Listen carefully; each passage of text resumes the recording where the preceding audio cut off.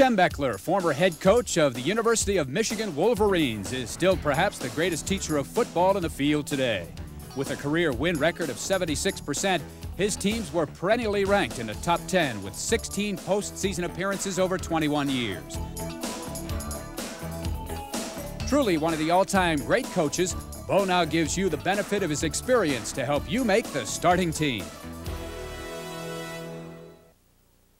purpose of this film is so that we can teach basic fundamentals and the important things about the game of football to that youngster who's just entering for the first time, or for the coach who is empowered with the responsibility of coaching these young people, or parents, parents that are concerned about their youngster going into a sport rough and tumble as football. This film is designed so that you can learn what you have to do in order to make that entry into football. We're going to teach them the proper techniques so that they can learn to do them with gusto and enthusiasm when they have gotten rid of the fear of contact.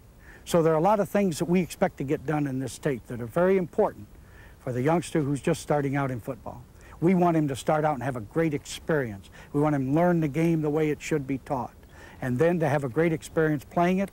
And if he does, football is going to be well worth all the effort that that youngster puts into it.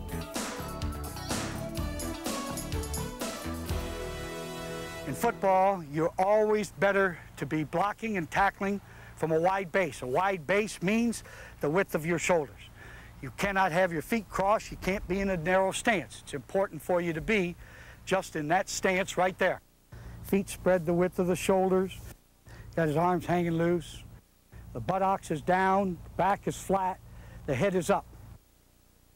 And so we call this the fundamental football position. Fundamental to blocking, fundamental to tackling.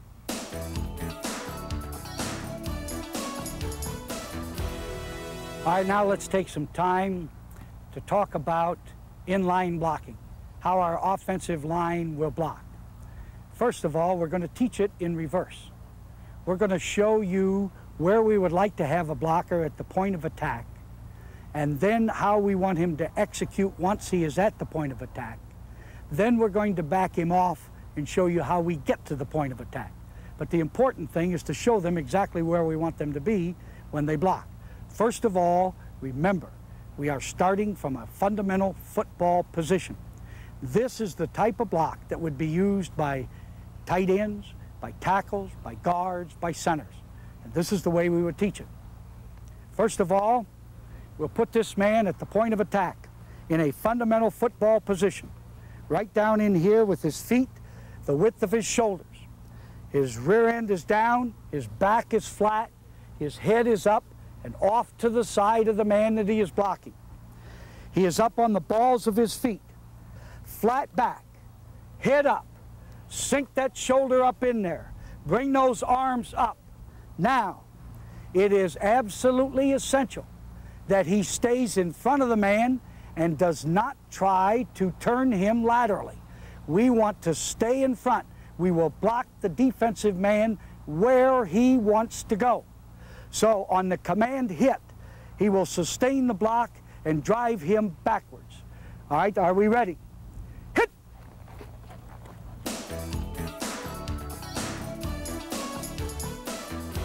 Tackling is to the defense what the blocking is to the offense. A good tackling team can mean everything, and the technique is not difficult to learn, but it takes time.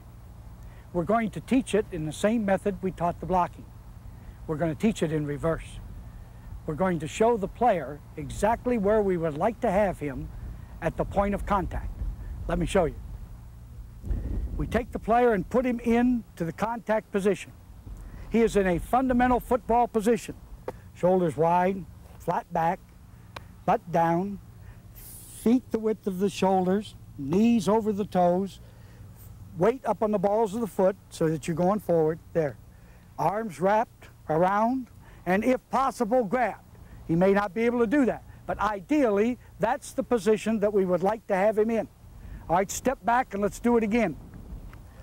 Fundamental football position, step into the block tackle. That is an ideal position that we would like to have him in. That is the first step in teaching tackling. The second step is how to get to that position. Now we back them off. Once they are backed off, we tell them to unload into the man that they are tackling. We want them, as they come in in that fundamental football position, to bring those hands right here to their hips and lunge and unload into the man, sliding the head off to the side in that same fundamental position and getting to that position with a jolt, with a jolt. And we want him to get into that position coming from down up. We don't want him just running in there, face mask to face mask. That isn't the way you do it. He aims with his head in the middle and then slides it off to the side and wraps those arms and gets into that fundamental position. Let's see that on the command, hit. Hit! All right.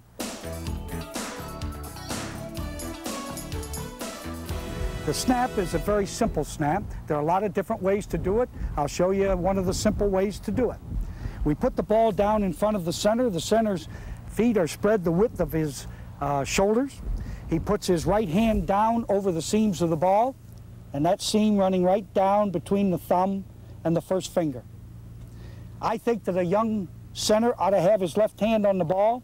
When he snaps the ball, he brings the ball in a pumping action straight up into here and slaps it into the, the top hand, the top hand of the quarterback.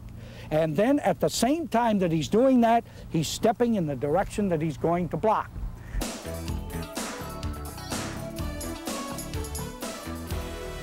The one position on the football team that has to be mistake-proof is the quarterback. He's going to handle the ball on every play, so there's always that chance for a mistake. And he must be the kind of a guy who's very technique conscious, knows exactly what he's doing, and doesn't make the big mistake. Some of the basic fundamentals that a young quarterback should know is, first of all, we have already talked about accepting the ball from center on the center quarterback exchange. Once the ball has been received, we bring it to the stomach so that we have the third hand to make sure that we don't fumble the ball. We are in a fundamental position with the feet spread about the width of the armpits and the weight on the balls of the foot. Basically speaking, we're going to end up holding onto this football with two hands until we actually hand it off or pitch it. There are usually two pivots that are used by a quarterback. One is a reverse pivot. Anytime that you reverse pivot, you certainly want to put the weight on the ball of the foot that is the pivot foot. If I'm going to anchor this foot, I want to put a little extra weight on there and then swing out with the left foot like this in order to make my pivot. We call that a reverse pivot. If we are going to front out, such as going to the right, then I would have the balance of the weight on the left foot so that I could thrust with the left foot and come down straight ahead down the line or come backwards to hand it off deeper into the backfield. Either way, it is necessary for us to exchange the weight on the foot that we're going to anchor and push off of because we don't want a lot of false steps in here to make sure our backfield timing is good anytime that we hand the ball to a back, we must hand the ball and look the ball in because that back is going to make a pocket with his inside arm up and his outside arm here at his belt and we must be able to place that ball in there and look it in because we're going to ask that back to keep his eyes on the hole and where he's running. We want him to accept the ball by feel. If we do that, then it is up to the quarterback to make sure that that exchange is proper. He can only do it if he looks it in.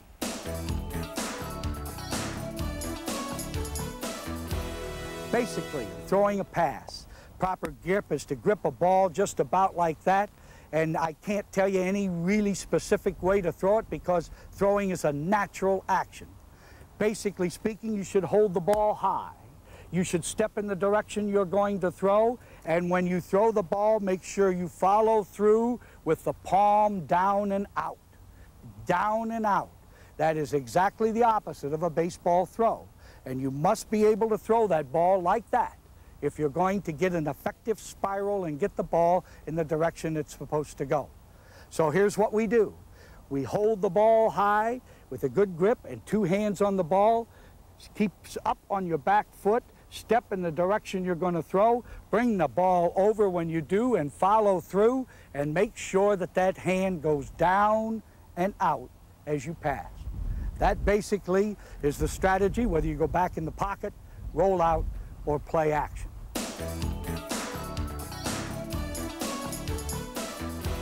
If you're going to be a back, I don't care what you see on television, I don't see, care how you see other backs carry the ball, I promise you, the most important thing you have to do is to have leverage on both ends of the ball. That means that if that ball is up here in my armpit and my hand is here, I got leverage on both ends of the ball. I do not have leverage on both ends of the ball when it's like this. I do not have leverage on both ends of the ball when it's like this, because if they pull an arm, that ball is going to fly out of there. I have leverage when it's up in my armpit and my hand is here. And I'm going to run that way uh, as long as that play is in motion until such time as I know I can't gain any more yardage by dodging someone and I'm going to get as much yardage as I can by bucking straight ahead.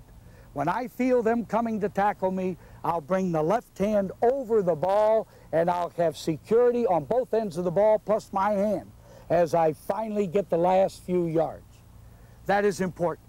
Leverage on both ends of the football.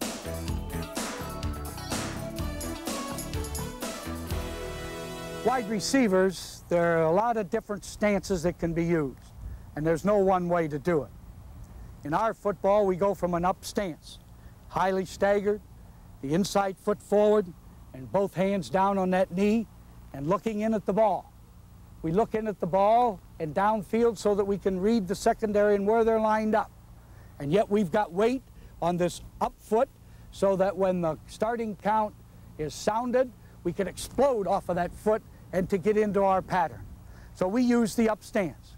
There are a lot of teams that get down in a staggered stance like this. It really, I don't think, makes an awful lot of difference. The only reason that we're up is that we feel we can see more, and that's particularly true if somebody's trying to bump us, a defensive back trying to bump us as we come off the line of scrimmage. You cannot catch a football unless you look it in. Concentration is probably the most important single thing. That when that ball is thrown and it's coming to you, that you look that ball all the way into your hands and you put it away before you run with it. It's no different catching the ball down there than it is catching a pitch out in the backfield.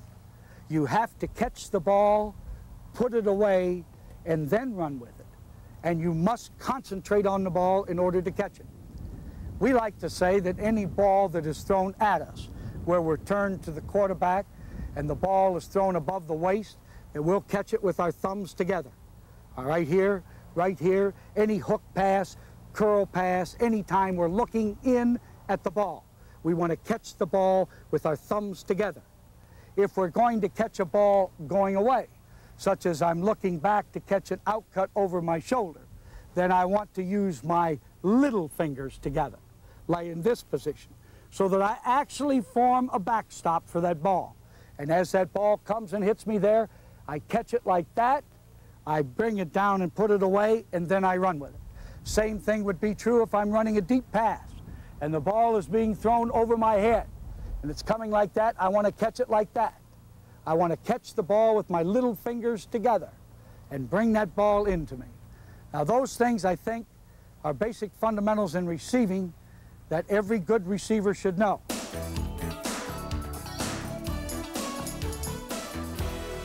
When we discuss the care of injuries, we feel that it's important that we understand the significance of the letters or the name RICE.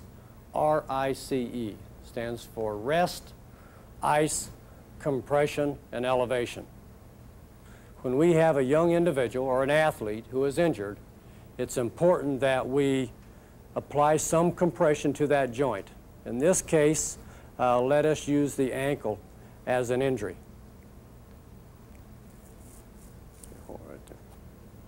It's important that we, that we apply a wrap, which is our compression.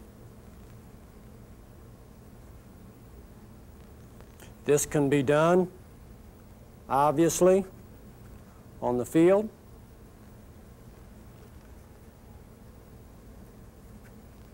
Please note that I am wrapping from the toe up to the mid lower leg area. Then it is appropriate to apply ice over the wrap.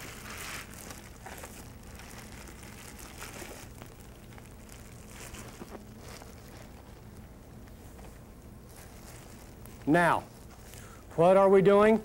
Very obviously, with an acute injury, we've got the compression to help decrease swelling that might accumulate. We are applying the ice to help with pain and to decrease swelling. And of course, we are elevating the extremity. So rest, meaning not using it, non-weight bearing, compression with the initial wrap, elevation we have emphasized, and our ice. So R-I-C-E.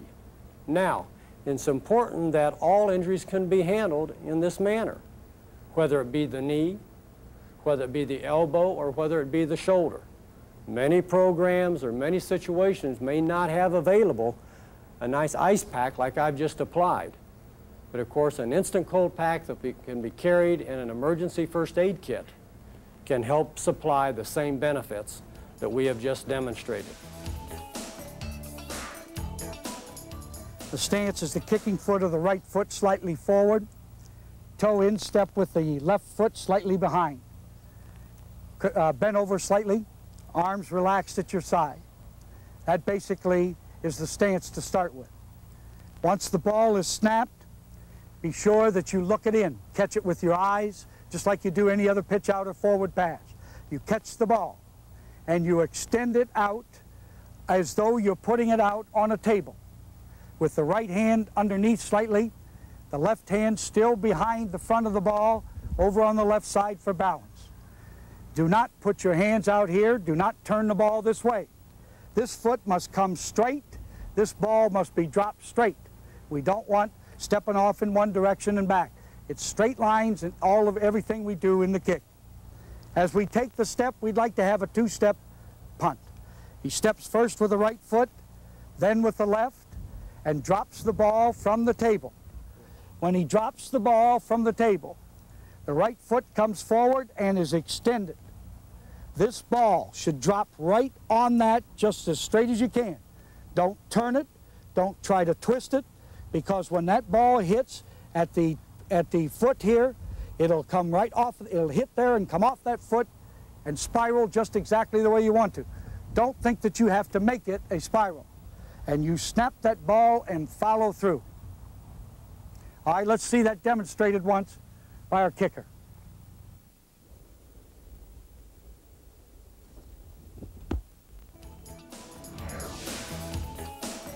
In the last 20 years, place kicking has changed a great deal. Most of our kickers today are soccer-style kickers and have had tremendous success with a lot of different techniques. There's really no one way that we can say is the ideal way for a young man to place kick a football. But basically speaking, one of the really most important things in kicking is that you keep your eye on the football. So many times place kickers look up early and then they're not hitting the ball where they ought to be hitting it. The second thing is, the most important thing is a good plant foot. If you're a head-on kicker, that plant foot is usually someplace behind the ball. When you're kicking, it's usually behind the ball somewhere. But your sidewinder kickers or your soccer-style kickers usually will end up with that plant leg even with the ball or even sometimes in front of how you line up when you approach the ball and how many steps you take depend on whether you're kicking off a course or kicking an extra point or field goal. But you must be able to plant that foot with some momentum and bring that leg through, keeping your eye on the football. And as you follow through, keep your head down and let somebody else tell you whether it was good or not. But basically speaking, if you plant the foot properly, swing the leg, and keep your eye on the ball you'll have a good chance of getting good contact on the football. The square drill, I believe, incorporates a lot of the agility drills in football. We start out from a basic fundamental offensive stance. We bear crawl, we carioca, we run backwards, and we sprint. And those things are the things that we think uh, generally teach quickness and agility about as well as any single drill we know of. So the square drill looks something like this. We'll start out with the man in an offensive stance. The first thing he'll do is to bear crawl to that cone. He'll carioca across to the far cone.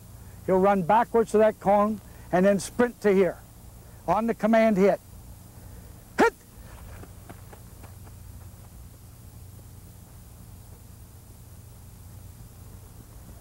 Okay. The faster our linemen can move on that, we know that they have the quickness and the feet that are necessary to be an excellent lineman. So we use this a lot, particularly with our offensive linemen. Other drills that can be used effectively with young players are the monkey drill. This three-player drill promotes quickness for getting up off the ground and is beneficial in conditioning. The gauntlet drill. Having teammates try to grab the ball away from the runner reinforces the importance of leverage on the ball. The fumble drill a defensive drill that teaches reaction to a fumbled ball, stress movement from side to side and back and forth prior to the fumble.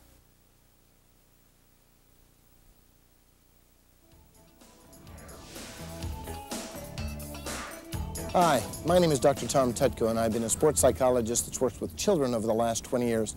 And one of the things I've become firmly convinced on is that the, every child should get an opportunity to participate in sports. I say this because I think that the physical, social, and psychological aspects of child development are firmly tied to the sports experience. I think very often we fail to realize that this experience, particularly at the age of 6 to 12, play a vital role in how this child gets an opportunity to be able to see the competitive world in later life. One important interaction that the parents might become aware of is that their relationship with the coach. I think very often parents because the child gets involved in this experience, may have a tendency to one relive their own experiences through the child. Uh, very often the child is seen as an extension of child rearing practices.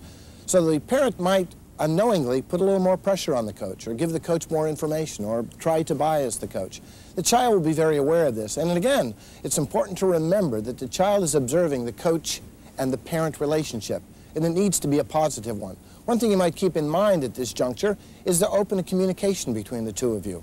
The sharing, going to the games, the talking after the games. All of these things are very critical in having not only an open communication, but having the child feel that they're reaching their maximum potential. Now, let me some mention some do's and don'ts as a parent in the uh, raising of your own child dealing with sports. What are some do's? I think it's important to be the support system to be there particularly when things aren't going well so you can put your arm around your child and say hey, there's always another game. Another thing that's important is the possibility of sharing on a verbal level. That is, how much fun did you have? What did you feel that you picked up in today's game? What are you learning about the sports? Another thing that's very important at this juncture is to make sure that if the child has some particular questions or needs, you might be able to explore it together. Go to a game and discuss the game. Maybe getting a chance to go to the library, talking to an athletic director, talking to another athlete, talking to a coach. All of these are ways that you can show your child that you're going to be supportive. What are some don'ts? An obvious don't is, I think, yelling or screaming or making demands upon your child is saying that the sport and what the child is doing is more important than the child's own personal feelings. I think it's very critical at this juncture that the parents try not to keep from setting higher limits than the child might actually be able to attain. Parents often put subtle pressures on. Why? Because if that child is doing well, the rest of the world will see that we're a great family. How might they do it? By asking for extra practice, by making extra demands, by pushing when the child obviously might be in pain. The child becomes aware of the fact that after a while, they're simply a pawn, and what might be taking place is that the parent's needs are creeping in here, not the child's needs. In any case, remember that sport is a family affair. You cannot have a child involved in sports without having the whole family involved, the time, the effort, the money, and really emotional investment. And I think support and maturity at this juncture is absolutely vital. Remember, this is an important juncture in your child's life. They're entering the really competitive world, and the sports world providing the opportunity for physical, social, and psychological development, and at the same time having play and fun is very, very critical. And you as a parent can make a major contribution to that development. Parents and coaches should understand while you're watching the youngster perform in practices and games, they're also watching what your attitude is and how you perform. And so don't try to place too much emphasis on the winning aspect of the game. And don't get over enthusiastic about him participating in football. Because you've got to understand, if your behavior is not exactly what it ought to be, your youngster will know about it. And it'll have a very adverse effect on the way he performs and the way he acts. So I think it's important that all of you understand this is not big time football. It's Little League football, and it's played for fun. To conclude with, I think there are several things that we ought to mention. One is, and the most important, that we want these young people who are having their first experience in football to have a very positive experience, to learn the basic fundamentals, to have some fun playing football, and to be safe. Second thing is we want our coaches to have a proper understanding of the basic fundamentals and techniques that they ought to teach. The coaches should understand that everything they do should be the best interest of every individual player, that they should all have an opportunity to play, and that they should have fun doing it, and that we should not worry so much about whether we're going to win every game or not. That will come later, when many of these young people who are just now starting out in football will develop down through the years and someday may be playing in a great stadium like this and having tremendous fun playing before huge crowds. But that is not the purpose of this Little League football. The purpose is to get the proper indoctrination, have some fun doing it, and to do it the proper way.